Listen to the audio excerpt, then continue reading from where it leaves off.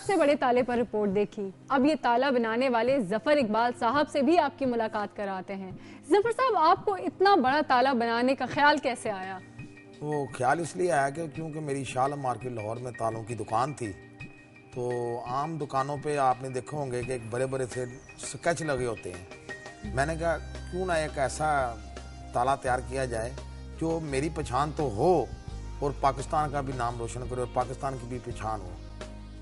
और अल्लाह ताला ने इज़्ज़त दी और 2003 के edition Guinness book world record में वो ताला को गिनीज वालों ने भी माना कि ये दुनिया का सबसे बड़ा ताला है और वो गिनीज बुक मैं अभी लेके आया हूँ। ये गिनीज बुक में भी वो ताला आया है और तस्वीर के साथ पाकिस्तान का नाम आया है।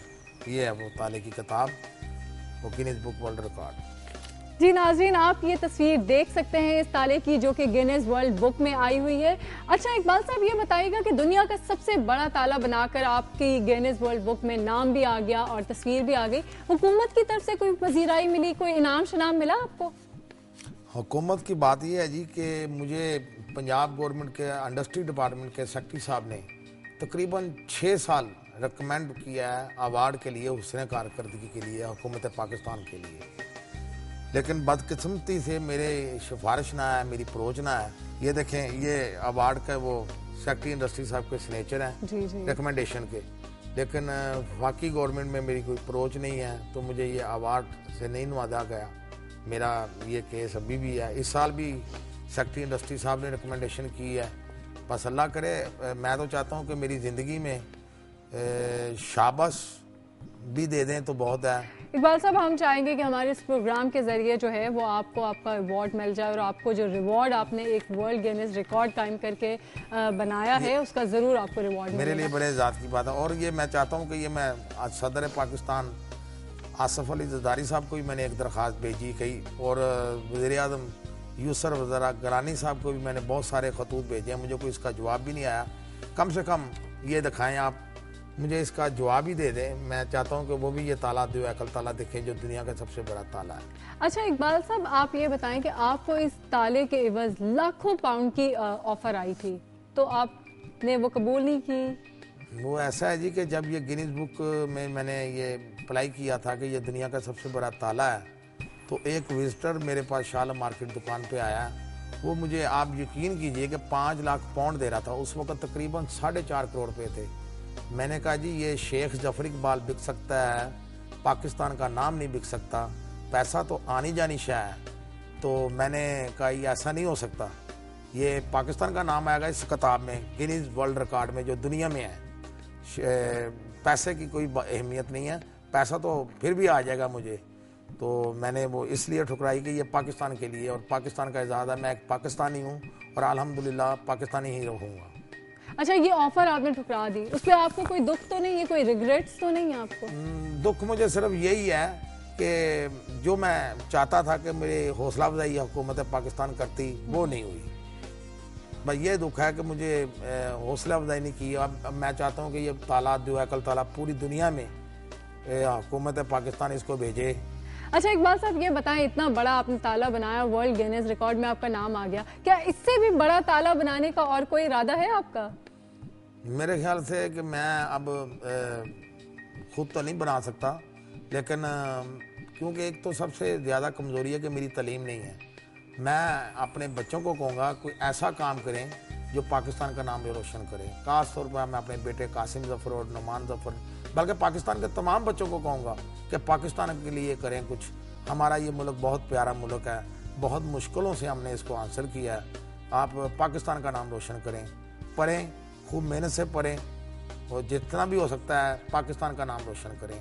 पाकिस्तान है तो हम हैं। बिल्कुल सही। अच्छा जब साहब ये बताइएगा उस ताले का वज़न कितना है जो इतना बड़ा ताला आपने बनाया है? हम्म, ताले का वज़न 102 किलो है दो चाबियों के साथ। और ये मुकम्मल हाथ के साथ बना हुआ है और इसको एक बच्चा भी बासानी खोल सकता है और बंद कर सकता है। और अच्छा। ये दुनिया का सबसे बड़ा जो एकल ताला है। जो बुक अच्छा चाबी ताला तो आई एम श्योर इतना बड़ा है कि वो आ नहीं सकता। आ, हाँ, चाबी चाबी मैं लेके आया हूँ। अच्छा अगर ये आप ये चाबी शो करवाना चाहें ये चाबी का वज़न तकरीबन तीन के जी है। जी नाजरीन आप ये चाबी से ही अंदाज़ा लगा सकते हैं कि जिसकी चाबी इतनी बड़ी है वो ताला खुद कितना बड़ा होगा।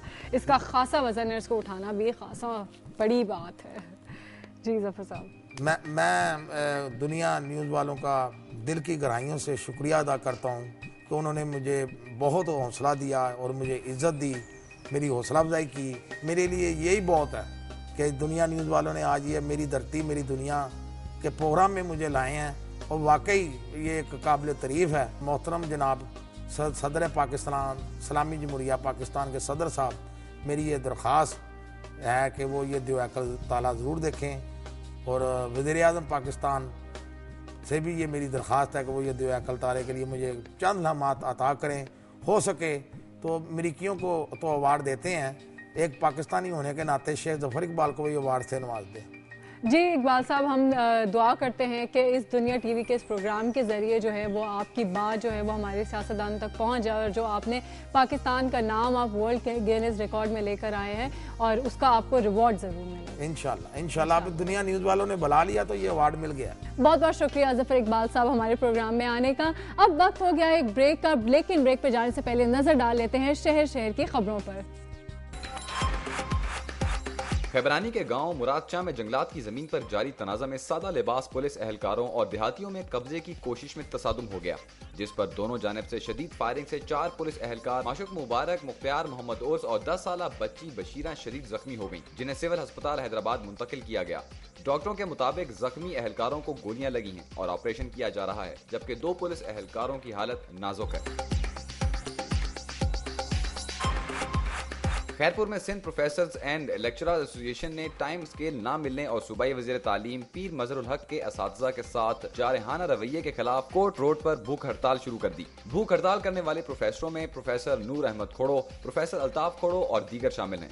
भूख हड़ताली प्रोफेसरों ने सहाफियों को बताया कि सूबाई वज़ीर तालीम पीर मजरुल हक इस के मुतालबात नहीं मान रहे। इस के साथ उनका ये रवैया जारहाना है। उन्होंने कहा कि इनके जायज़ मुतालबात न माने गए तो 21 अप्रैल को सिंध भर के इस डीजी कॉलेज कराची से वज़ीर आला हाउस तक पैदल मार्च करेंगे। टांक में जनूबी वजिरस्तान के महसूद कबाइल का जरगा जारी है। जरगा शुरा का कहना है कि वह हुकूमत और पाक फौज के खिलाफ नहीं है। इनका कहना है कि तमाम महसूद दहशतगर्द नहीं। हुकूमत इनके साथ सौतेली माँ जैसा सलूक न करे।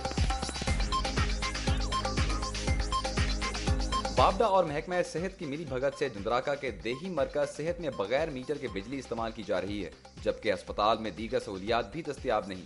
अस्पताल पहुँचने के लिए गंदुम के खेतों से गुजरना पड़ता है। अस्पताल में डॉक्टर की जगह डिस्पेंसर लोगों को दवाई की बजाय सिर्फ़ मशवरे देता है। बासर अफराद इसकी खिड़कियाँ और दरवाजे भी उखाड़ कर ले गए हैं। अहले इलाका को अपना इलाज करवाने के लिए दूसरे शहरों का रुख करना पड़ता है। इस अस्पताल में मरीजों का अनोखा इलाज बेड की बजाय चार पाई पर किया जाता है। अस्पताल में मौजूद फ्रिज में मरीजों की दवाइयों की बजाय इसमें माचिस और सिपारे पड़े हुए हैं। नारोवाल के नवाही गाँव मोदासागरपुरा में आज से शुरू होने वाली तीन रोजा तबलीगी इज्तम की तमाम तैयारियाँ मुकम्मल हो चुकी हैं। जिला पुलिस नारोवाल ने सिक्योरिटी के तमाम इंतज़ाम को फुल प्रूफ बनाने के लिए सैकड़ों पुलिस एहलकारों को ड्यूटी पर तैनात कर दिया है, जबकि ज़िले इंतजामिया ने भी इज्तम में शिरकत के लिए आने वालों को सहूलियात फराहम करने के लिए खसूसी काउंटर कायम किया है। महकमा सेहत ने इज्तम गाह में डिस्पेंसरी बना दी है, जबकि तमाम इलाके में डेंगू और दीगर बीमारियों से बचाव के लिए खसूसी स्प्रे किया है।